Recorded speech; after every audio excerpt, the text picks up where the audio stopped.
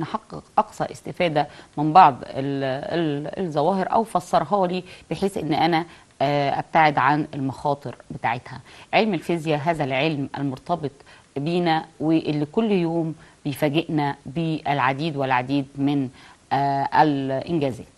آه، علم الفيزياء منذ بدأ كانت في بعض التجارب اللي يحاول بها الإنسان إنه يفهم الطبيعة أو يخضعها ليه أو يقدر يتحكم فيها بداية من آه، آه، الشخص اللي حاول آه، بفكرة الطيران عباس بن فرناس اللي استخدم لفكرة الطيران الريش وال- والملصقات أو ال- الصمغ عشان خاطر يكون لنفسه أجنحة آه، ويقدر يحاكي الطيور ويطير هذا الشخص لو حضر في مجتمعنا الآن وسمع إن إحنا عندنا طائرة بنفس فكرة الجناحين والتي تحمل العديد من الأفراد وبتنقلهم في مسافة زمنية صغيرة جدا آه، مش هيصدق الكلام ده.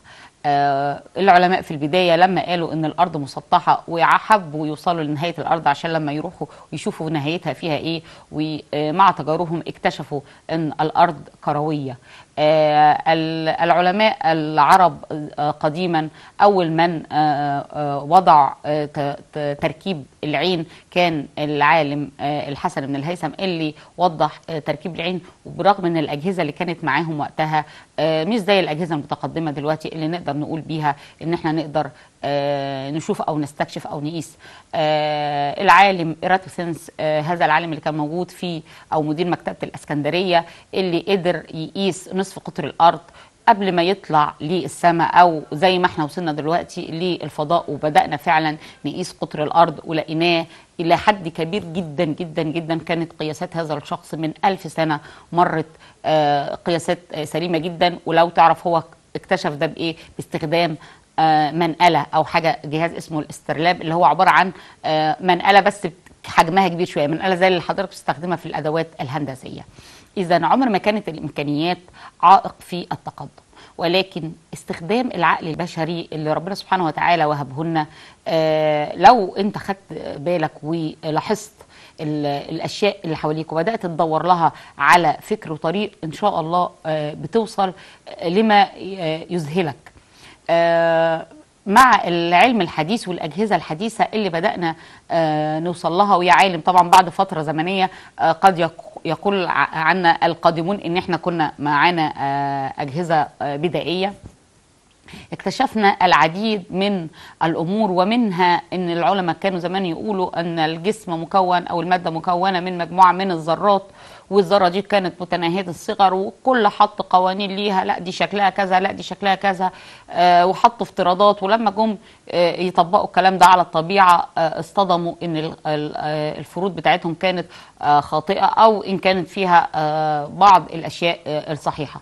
مش بس كده مش بس اكتشفنا تركيب الذرة لا ده إحنا كمان بدأنا ندرس سلوك الإلكترونات اللي موجودة جوه الذرة والمستويات الطاقة وبتتنقل وعملية الانتقال ديت ممكن الاستفادة منها بإيه؟ آه، صحيح وصلنا لأن إعطاء ال- القنبلة النووية لو أنا اديت قذائف لل- لل- للنواة ابتدينا نكتشف هذا الجزء الصغير جدا اللي كان في وقت من الأوقات إحنا مش عارفين أصلا تركيبه كان إيه والكلام دوت مش من بعيد الكلام دوت كان آه، خلال القرن آه، آه، يعني القرن الماضي يعني الأول حد حط تصور آه، إلى في الذرة كان 1898 يعني قبل ما نوصل لسنه 1900 كانت الذره دي حاجة مبهمة وقعد يقول إن الذره دي عبارة عن جسم مصمت وفي قلبه الكترونات مرشوقة حاجة كده عاملة زي زي الكوكيز أو شكل البطيخة اللي محطوط فيها اللب بتاعها. آه، جه علماء بعديه آه، قالوا لا الكلام دوت آه، مش صح. مش اجتهادا ولكن هم أجروا بعض التجارب اللي هنستعرضها النهارده مع بعضنا واللي وضحت لنا شكل الذرة إيه. كمان لما حطوا فروض للإلكترون الإلكترون مش بيمشي تبع فروضنا هم عايزين يفسروا السلوك بتاع الإلكترون.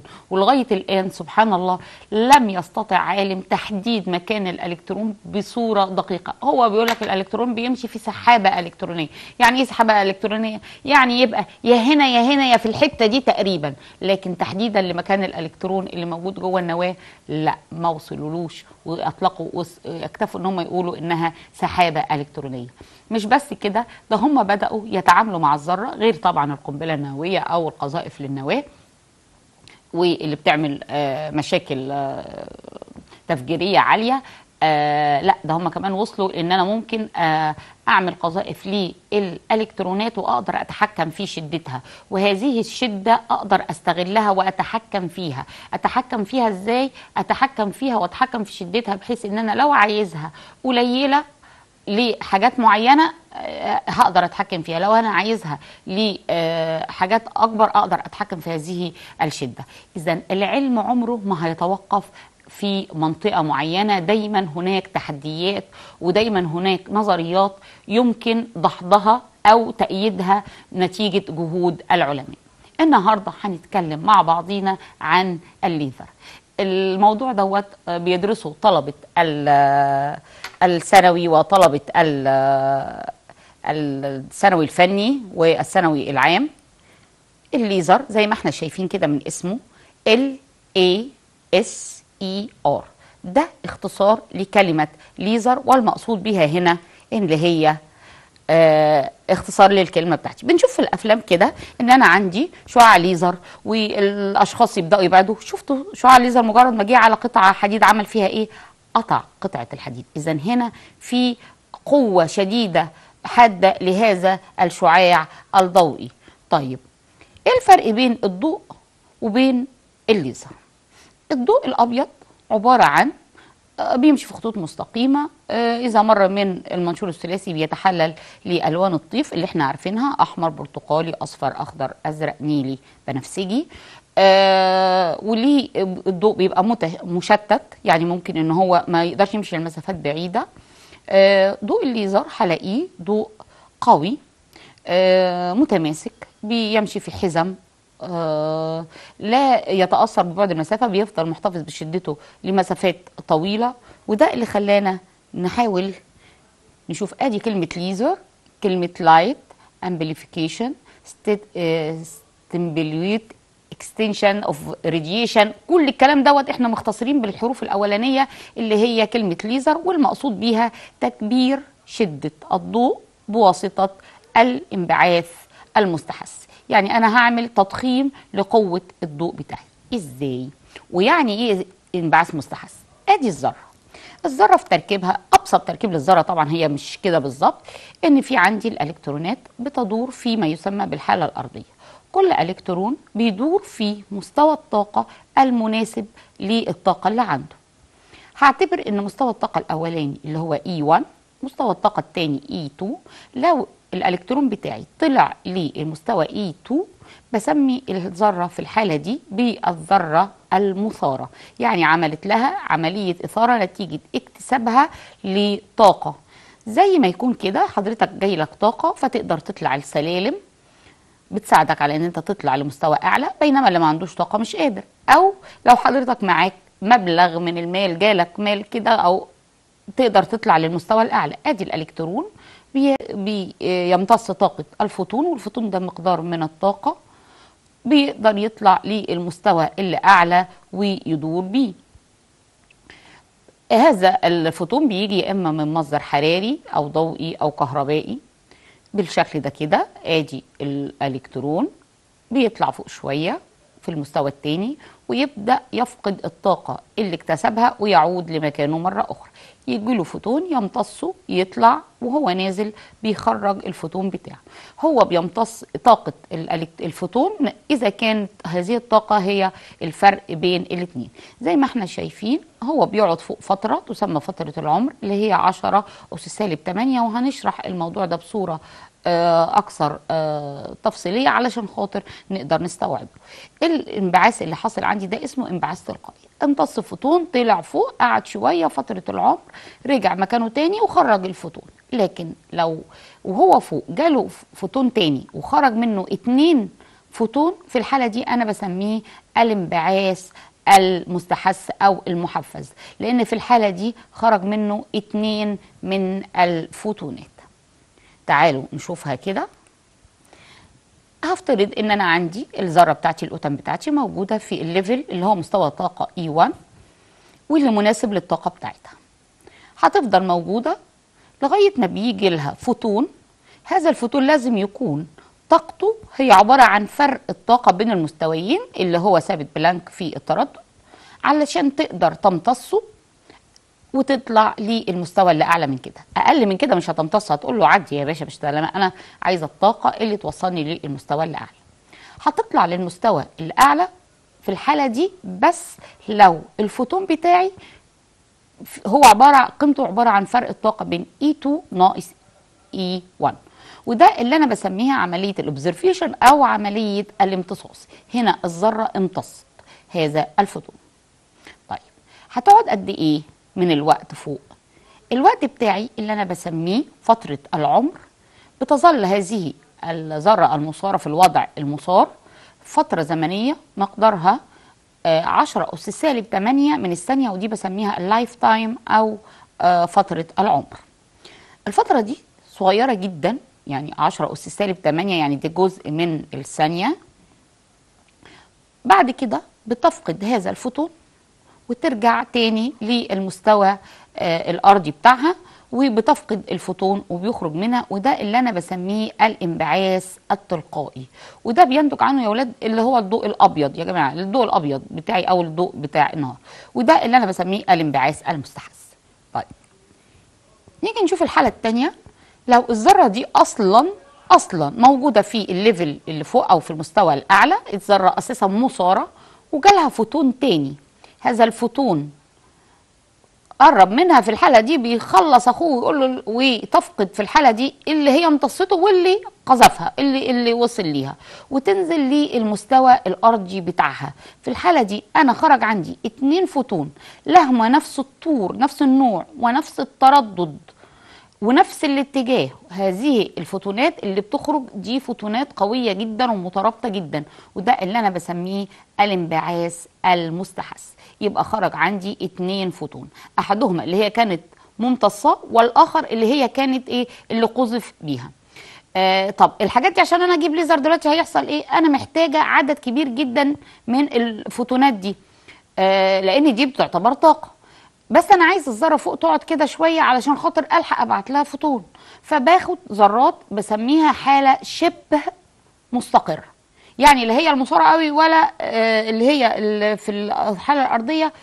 الذرات دي ممكن توصل تفضل في هذا المستوى الأعلى من طاقتها. فترة زمنية أكبر لغاية ما يجي لها. الفترة دي بتبقى عبارة عن 10 اس سالب 3 من الثانية. على بال ما يبدأ يجي الفوتون الآخر. وفي الحالة دي بسميها إيه؟ شبه مستقرة. meta يعني مش مستقرة قوي دي في مستوى شبه مستقر. آه، في الحالة دي أنا الذرة هتطلع هتطلع عندي اتنين فوتون. أنا عايزة أقوي الضوء اللي طالع ده أو أقوي شدة الفوتونات دي. يبقى أنا هستخدم عدد كبير من الذرات. لو كل واحدة فيهم كانت ليها نفس مستوى الطاقة غير المستقر آه، أو شبه المستقر هيخرج عندي عدد كبير من الفوتونات. طب تعالوا نشوف الجهاز بتاعي جهاز الليزر. تركيبته بحاجة بسيطة جدا. في مادة عندي اللي هي ال- المادة الفعالة بتاعتي. في عندي آه، فرق آه، ضغط أو طاقة سواء آه، مناسبة للمادة دي. وفي عندي في نهاية التجويف المغناطيسي التجويف دوت عبارة عن مرايتين. أحدهما يعني درجة نفاذها آه، 99 الثانية شبه منفذة واحدة عاكسة وواحدة منفذة. وببدأ أحط ال ال بعمل فرق جهد ال- الذرات بتبدأ تخرج لي ال- الفوتونات تيجي تخرج من المراية ما تعرفش ترتد مرة أخرى وترجع تاني وهي راجعة بتخبط في ذرات لغاية ما عدد الفوتونات اللي طالع بيبقى كبير جدا ويستطيع أن ينفذ خلال المرآة شبه المنفذة. تعالوا نشوف إيه الفرق بقى بين الضوء وبين الليزر اللي إحنا بنتكلم عليه. بالنسبة للموجات هجد إن موجات الليزر هي موجات مترابطة ليها نفس التردد ونفس الطول ونفس الاتجاه. في الضوء عندي يتحلل إلى سبع ألوان اللي هي ألوان الطيف بينما بجد أن أشعة ال- الليزر أشعة ذات حزم آه، الحزمة بتاعتها مترابطة جدا تمشي المسافات طويلة آه، ضوء قوي ما بيتشتتش. زي الضوء العادي اللي خارج من المصباح. تعالوا كده نشوفها ببساطة. أدي تركيب الذرة. مستوى E 0 أو E 1 والمستوى اللي بعديه. الذرة بت- بتكتسب فوتون. تطلع للمستوى الأعلى. تقعد فترة نصف العمر. آه sorry فترة العمر. بترجع لمستواها تاني وبيخرج منها الفوتون. وده اللي أنا بسميه ال- الانبعاث التلقائي. وده اللي بيصدر عنه الضوء آه العادي المرئي. طيب آه تعالوا نشوف في ضوء الليزر. لا ضوء الليزر هنا. آه الذرة أصلا بتبقى في حالة مستثارة يعني الذرة أصلا فوق. ي- بيقذفها فوتون فبيخرج منها اتنين فوتون الفوتون اللي هي كانت امتصته والفوتون الجديد اللي جاي عشان خاطر يقذفها. يبقى أنا عندي نوعين من أنواع الانبعاث. انبعاث تلقائي وزي ما قلت ده اللي بيصدر عنه الضوء العادي. الانبعاث المستحث اللي بيصدر عنه ضوء آه الليزر وده ضوء قوي جدا. آه الأولانية بتمتص آه، الفوتون وتطلع ويخرج منها فوتون واحد الثانية بتطلع منها اتنين فوتون. لو عندي عدد كبير من الذرات بقى كده في المستوى ال- الأعلى طبعا هيخرج عدد كبير جدا من الفوتونات في حالة الانبعاث ال- المستحث أو المحفز وده اللي بيسبب لي آه، قوة أو شدة آه، الضوء الليزر طب تعالوا نشوف كده. ادي ضوء الليزر. شايفين القوة بتاعته؟ شايفين التماسك وماشي في حزمة واحدة مش م- مش فارش المكان كله لا ده ماشي في خط مستقيم. ليه؟ لأنه هو بيمشي في موجات شبه بعض بالظبط في التردد وفي الطور وفي الاتجاه ومترابطين جدا فبيبقى قوي. بينما أجد في الضوء العادي آه، في تشتت. ملهمش نفس التردد بيخرجوا واحد بعد التاني لكن ضوء الليزر بيبقى قوي نظرا لترابط الفوتونات. نتكلم على عناصر الليزر. زي ما استعرضنا عايزة وسط فعال والوسط دوت يكون ال- الذره بتاعتي في أغلبيتها شبه مستقرة في المستويات الأعلى. كمان محتاج تجويف رنيني بيضم المادة بتاعتي. وينتهي بمرآة عاكسة ومرآة من- منفذة. ده بالنسبة لليزر الغازات.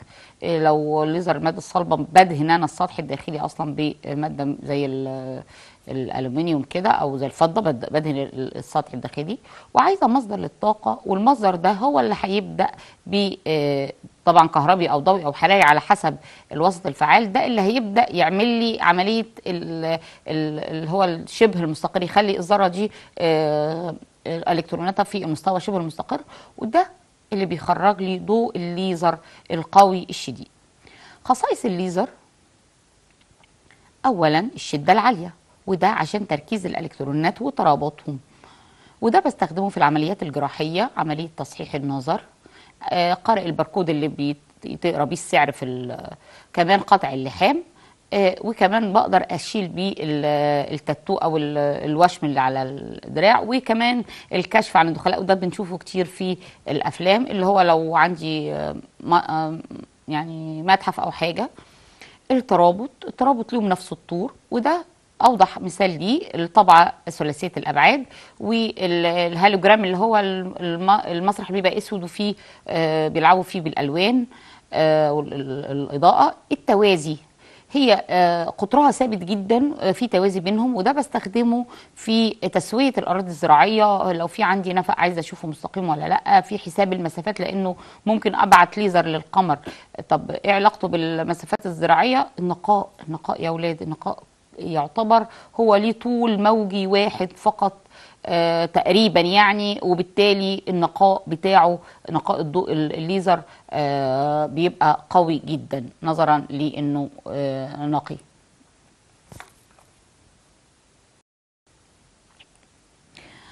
هنتكلم على الإسكان المعكوس. إيه بقى موضوع الإسكان المعكوس؟ هو الطبيعي يا أولاد إن الذرة المستوى الأقل في الطاقة بيحتوي على عدد كبير من الإلكترونات. أنا بقى عايز أخلي العدد الأكبر موجود في الليفل التاني في مستوى الطاقة الأكبر وده ما بيحصلش في الطبيعة لأن في علاقة عكسية بين طاقة المستوى وعدد الإلكترونات. كلما قلت طاقة المستوى كلما زادت عدد الإلكترونات فيه.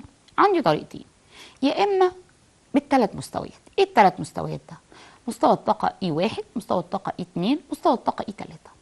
الإلكترونات اللي موجودة في مستوى الطاقة اي واحد بديها طاقة بيخليها تطلع للمستوى إلى المستوى اي تلاتة.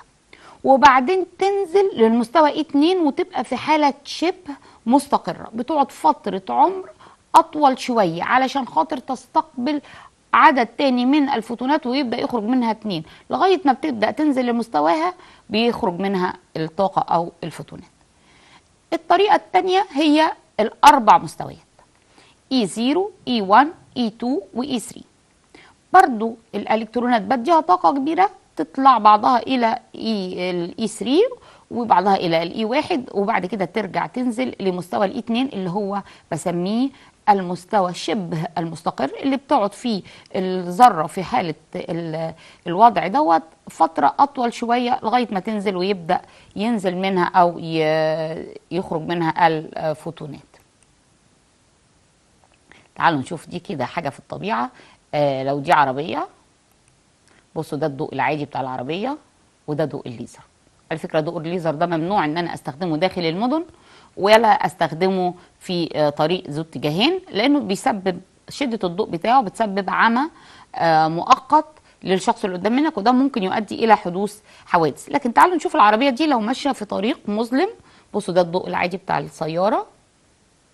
ولما أبدأ أضيء الضوء اللي هو ال- اللي هو الضوء ال- ال- الليزر هبص ألاقي إن أنا ممكن أشوف آه، المسافة على مسافة بعيدة جدا آه، شايفين وضع الإنارة بتاعتي شكله إيه.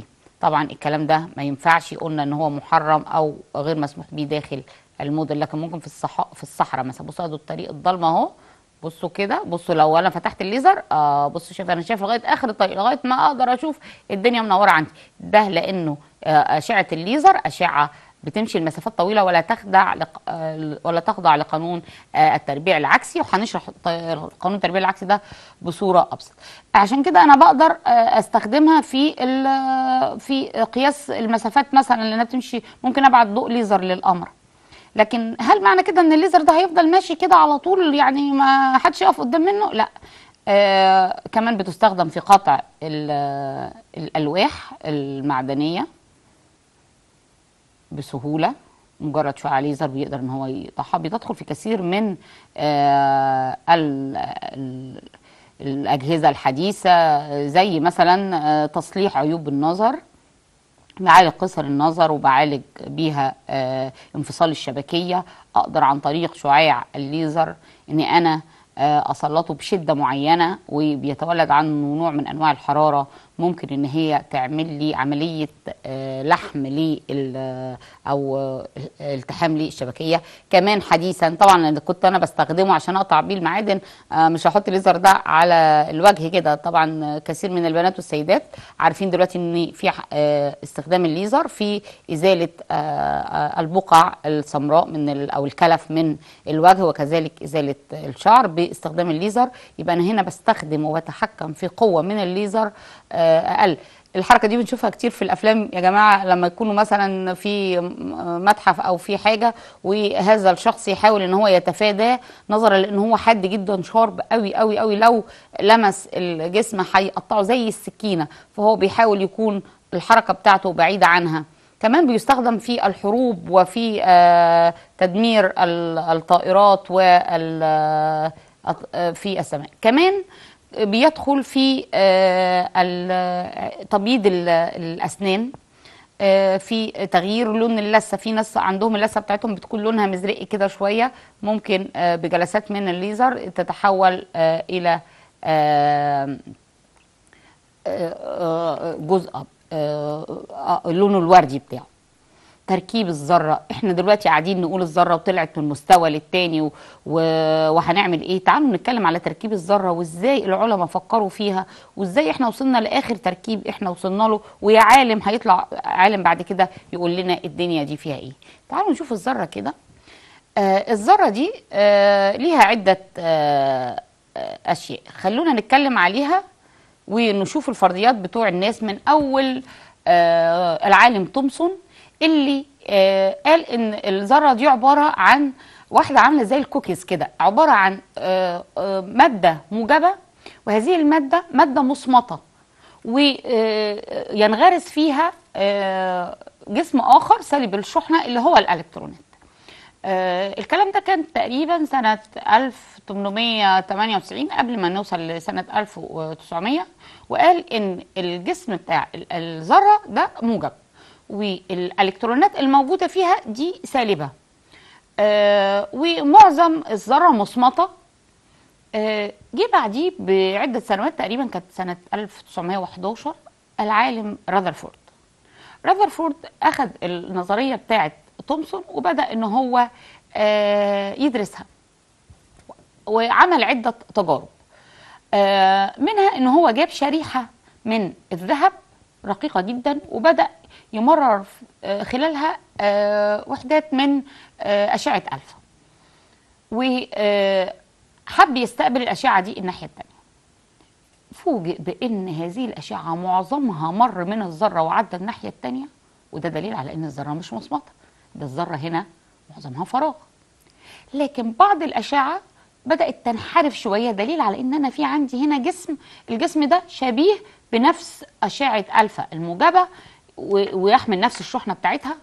وكمان في بعض الأشعة ارتدت مرة تانية معناها إنها اصطدمت بجسم صلب موجود في المنتصف. ومنها قال إن الذرة بتتركب من نواة موجبه الشحنة اللي في المنتصف واللي تسببت في ارتداد بعض الأشعة لأن هي جسم صلب. والأشعة اللي عدت من جنبها علشان تحمل نفس شحنتها حصل لها انحراف انحراف عن مسارها. هذا الانحراف نتيجة تشابه الشحنتين مع بعض. بينما بقية الأشعة مرت دون أن تعني أي انكسار نظرا لإيه؟ نظرا لأنها تحمل نف وهي بتعدي مفيش قدام منها أي حاجة توقفها فاذا معظم الذرة فراغ.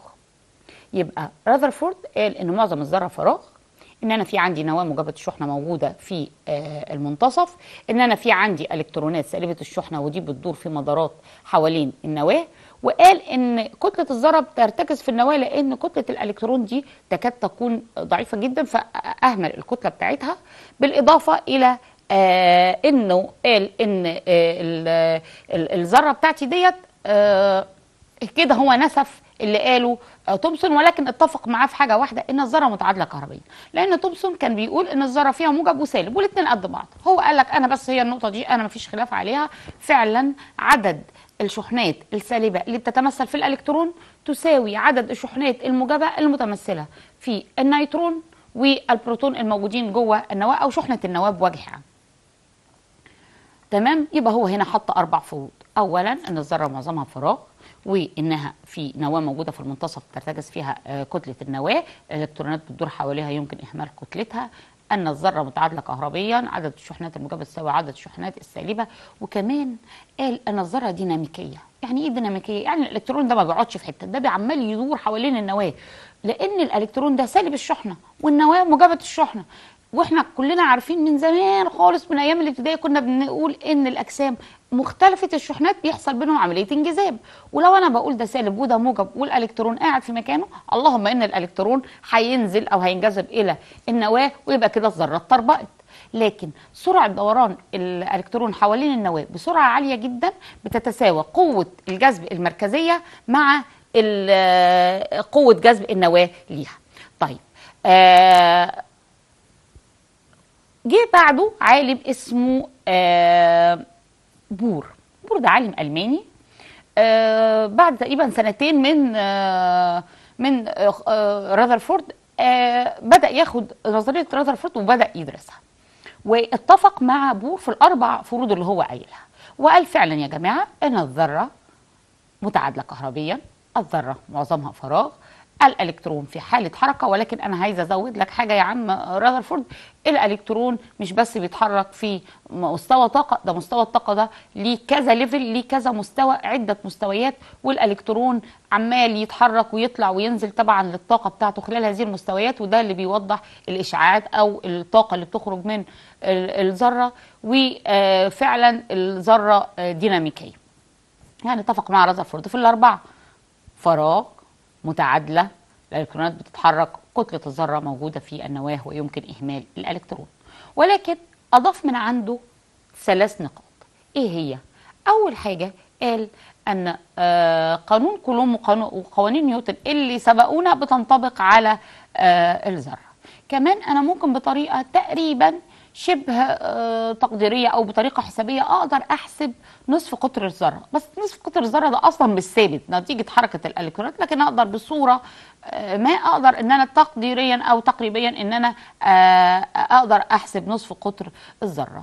وكمان قال إن الألكترونات هنا بقى هو أول واحد كده وضح إن الألكترونات لما تكون في مستوى الطاقة اللي هو E واحد واكتسبت فوتونات هذا الفوتون هو طاقته عبارة عن فرق الطاقة بين المستويين وهذا الإلكترون امتص طاقة هذا الفوتون فهو بيعمل إيه؟ بيطلع للمستوى الأعلى. يبقى هنا بدأ يقول لنا فكرة الفوتونات وفكرة الطاقة اللي أنا أقدر بعد كده أكبرها. كلمة ليزر كانت كانت عارفة إيه؟ تكبير شدة الضوء بواسطة الانبعاث المستحث طيب أنا كده دلوقتي قلت كمان الإلكترون بيروح فين وبيجي منين. و آه، هو رذرفورد كان لسه شغال على الشغل بتاعه لكن بور ساعتها هو اللي سبق وأخد جائزة نوبل في هذا المجال. هل معنى كده إن إن بور ده آه، آخر حاجة؟ لا. حدثت الكثير من الدراسات وناس حطوا نظريات وناس حطوا قوانين وفشلوا في إنهم آه، يكونوا متأكدين بنسبة 100% فسروا بعض الظواهر وبعضها لم يتم تفسيره. آه، آه، لغاية الآن مثلا يقول لك أنا آه، الضوء بتاع ال- ال- الليزر ده ممكن يمشي لمسافات طويلة ووصله القمر بس آه، إيه اللي بيخليه يت- يتشتت ويتلاشى؟ مش أنتوا لسه كنتوا بتقولوا إن من صفاتها إن أنا عندي الترابط. وعندي آه النقاء الطيفي وعندي آه آه إنها ما بتخضعش لقوه لقانون التربيع العكسي. إيه التربيع العكسي؟ التربيع العكسي بيقول إن الضوء كل ما المسافة زادت بينك وبين مصدر الضوء الضوء ده بيقل. عايز تشوفها كده في حياتك ال- اليومية؟ لو مثلا النور مقطوع وماما حبت تنور لك لمبة كده من الدور الثالث عشان تطلع السلالم هل الضوء بتاعها هيبقى زي الضوء اللي موجود في الدور الأولاني؟ طبعا لا. كل ما هتبعد عن الضوء هتلاقي إن آه، الضوء بي- بيبدأ يض- يضعف أو بيتلاشى. ده بالنسبة لمين؟ ده بالنسبة للضوء العادي. بالنسبة للضوء العادي. طب بالنسبة للليزر أنت بتقول في ترابط وبيمشي لمسافات طويلة وما بيح وما بيخضعش لفكرة ال- التربيع ال- العكسي ده. إن كل إن شدة الضوء بتتناسب عكسيا مع مربع المسافة بينك وبين مصدر الضوء. لا الليزر ما بيعتمدش على كده وما بيخضعش للكلام ده. وفي قوة ترابط وفي شدة وفي نقاء طيفي وكلهم نفس التردد ونفس الطول الموجي ونفس آه، الطور كل حاجة. طيب إيه اللي بيحصل؟ آه نتيجة إن الضوء بتاع الليزر هو ماشي مثلا عايز أبعته للقمر بتبدأ لو أنت عندك كده ضوء في أوضتك هتلاقي فيه بعض ال ال الإضاءات البسيطة اللي خارجة من ال- الضوء بتاع ال- الليزر. دي عبارة عن إيه؟ عبارة عن فوتونات بدأت تسيب الليزر وتبعد. ليه؟ نتيجة احتكاكها بطبقات الهواء. عشان كده لما بيحبوا يبعتوا الليزر للفضاء بيعملوا إيه؟ بيطلعوا على مبنى عالي جدا عشان أتلافى ال- الاصطدامات اللي هتحصل مع الهواء اللي موجود عندي في ال في ال ال في الهواء في طبقات الهواء السفلى. طيب.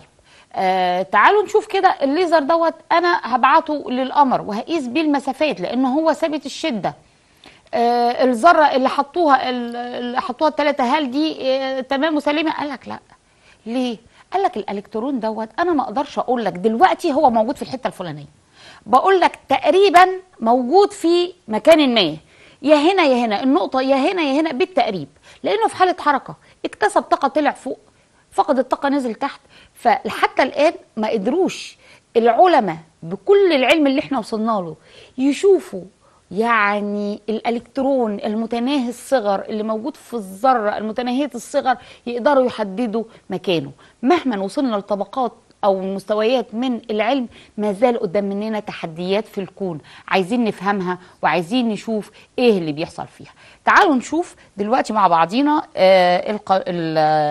آه نظرية رذرفورد التجربة بتاع رذرفورد جاب قطعة من آه، ال- الذهب رقيقة وبدأ يخرج آه، عندي جسيمات الفا على حسب كلامه. المفترض إن ال- الذرة بتاعتي آه، هتعدي زي ما آه، آه، زي ما تومسون قال ومفروض إن هي تعدي كده.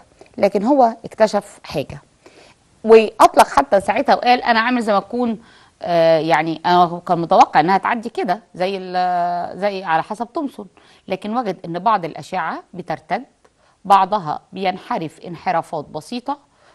قال لك أنا عامل زي ما أكون جبت رصاصة وضربتها على منديل فسقطته لي ورجع لي. ما كانش متوقع اللي هيحصل ده. كل الأشعة بالشكل دوت بعضها مر بدون آن يعاني أي آه، انحرافات. وده معناها إن معظم الذرة بتاعتي فراغ. طيب. آه، نفوذ أغلب الجسيمات من الصفيحة معناها إن أنا الذرة معظمها فراغ.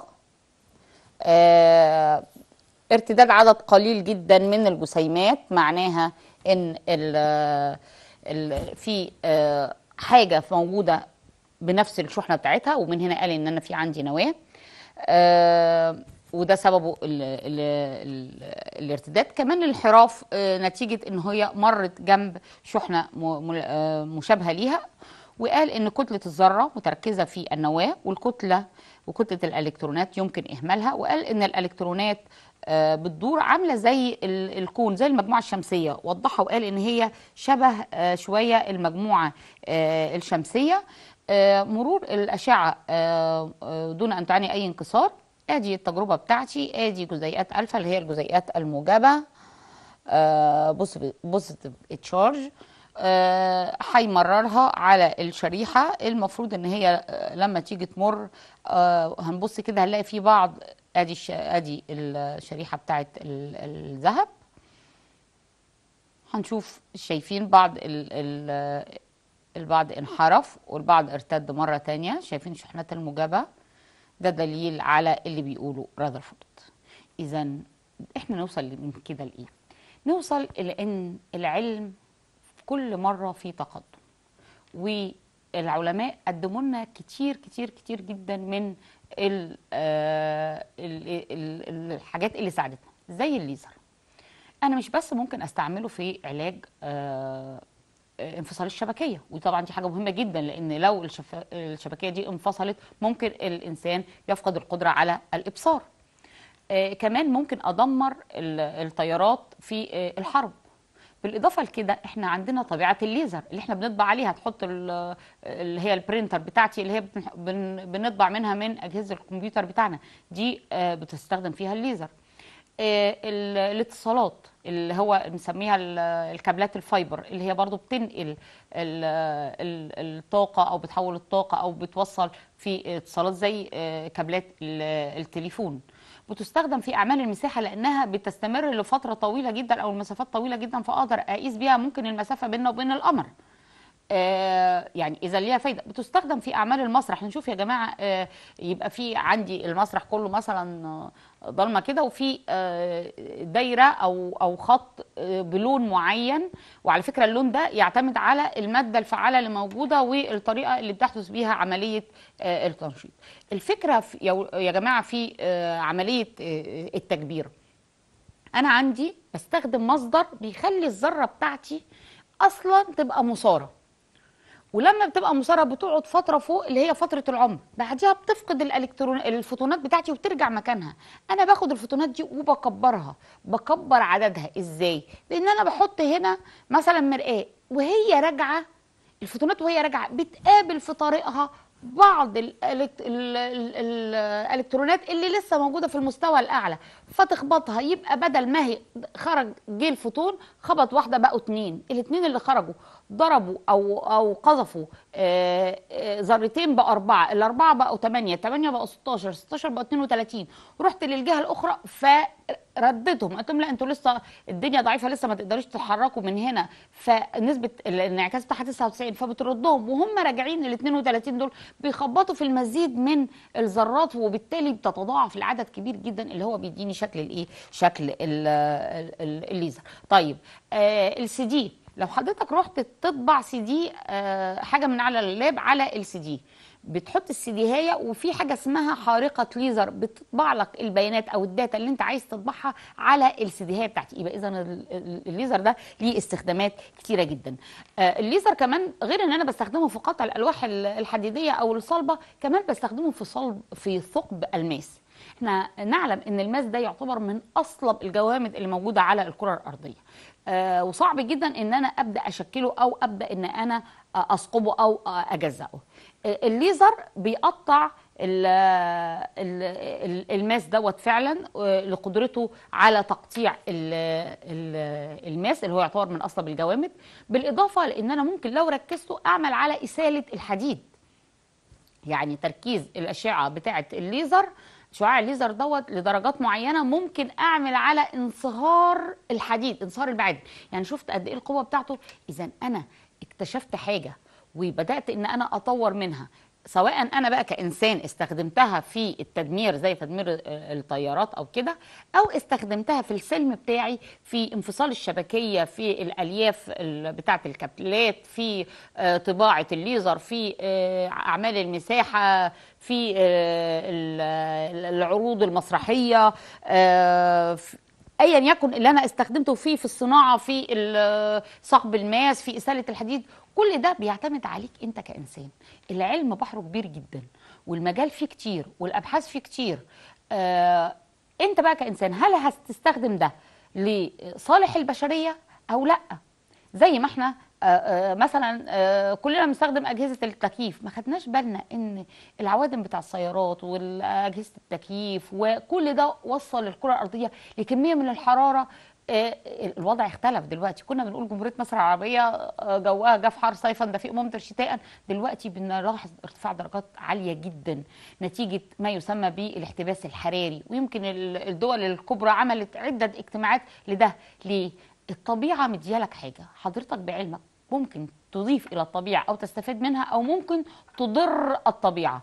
يبقى إذا أنت دلوقتي بإيدك كإنسان أو بفكر الإنسان إنك أنت تخلي حياتك على الأرض دي جنة أو تقلبها لنار. يمكن ثقب الأوزون اللي حصل نتيجة الانبعاثات الحرارية الكتيرة جدا اللي نتيجة التقدم طبعا الصناعي والمصانع والأدخنة والحرارة اللي اللي اللي, جوه الأرض ديت وثقب الاوزون اللي اتسع واللي سمح بمرور آه، أشعة. إحنا آه، درسنا الأشعة واتكلمنا على الضوء وقلنا إن هو في موجات آه، اللي هو الضوء المرئي وفي آه، موجات اللي هو الفوق بنفسجيه ودي اللي ممكن تسبب آه، أضرار. إحنا اتعرضنا للكلام ده.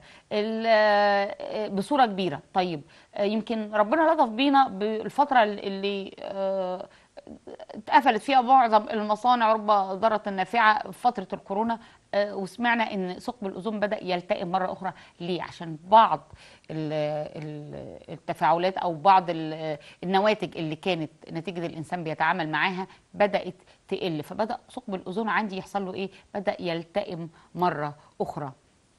اذا أنا دلوقتي بشوف العلم بتاعي. إذا أخدت الجهه الصحيحة أو تفسر بالنسبة لي ظاهرة زي الناس اللي قالوا القطب ال- والأطباق الطائرة والكلام ده. وعلى فكرة السينما كمان خدت الموضوع دوت فترة طويلة وشفنا أفلام تناولت هذه الظاهرة على إن هي حاجة أسطورة أو أو هي حاجة آه، حقيقية وبنداري على الناس وكده. لكن هنا العلم قال كلمته وقال يا جماعة ده في حاجة اسمها السراب الإيه؟ السراب القطبي. في حاجة اسمها إن الضوء ده بيحصل له انعكاسات وانكسارات وبتمشي الدنيا ماشية إزاي.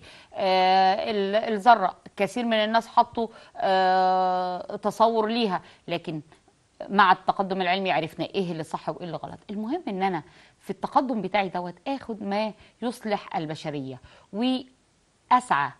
الإنسان إذا سعى يعني أنا كشخص في فترة دراسة أنا أخدت المنهج بتاعي ودرسته علشان خاطر آخر السنة آه، رحت امتحنت وحطيت أو رميت المعلومات اللي كانت في دماغي آه، وبعد كده اتمحت المعلومات ديت. يبقى اذا أنا ما استفدتش حاجة. أنا بضيف لنفسي علشان خاطر أقدر أعرف أقدر أتعامل مع البيئة اللي حواليا. طيب إذا كان العلم أضر بالبيئة برضه هناك دراسات بتعمل إيه؟ بتعمل على محاولة إصلاح ما أفسده العلم يعني العلم بيصلح نفسه إيه؟ منه فيه. أنا دلوقتي اتكلمت على الليزر وقلت إن ليه فوائد خلاص أنا هاخد الفوائد بتاعته. اتكلمت على الأشعة السينية مثلا وقلت إن ليها آه، فوائد آه أنا هستفيد من الفوائد. وآجي أشوف الأضرار وأحاول أتعامل معاها. أتعامل معاها إزاي؟ بإن أنا اتلاشاها أو أوجد حلول ليها. جه قال لي الأشعة السينيه بتسبب تضخم مثلا في بعض الأجزاء بتسبب ضمور في بعض العضلات بتسبب خلاص يبقى أنا أحاول إن أنا أقنن التعرض ليها.